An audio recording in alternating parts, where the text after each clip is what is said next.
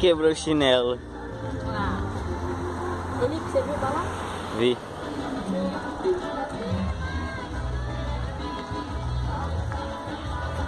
Deu ruim, rapaziada. O chinelo quebrou.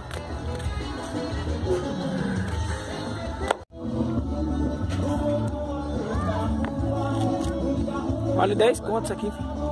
E aí, beleza? Beleza, é nóis. Tamo junto. Só dá pra ver a blusa só do Brasil.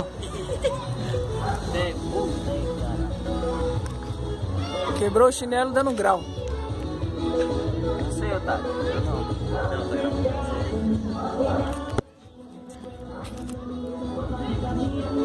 Não, engraçado. Engraçado, cara. Mas é zica, João. Mas é porra. Cai cocôzinho no Tigre Miguel. Sai, cocôzinho, todo tico do Miguel. Olha aí. Cadê o Miguel, João? Uma hora depois, duas horas depois, três horas depois, dois mil anos depois.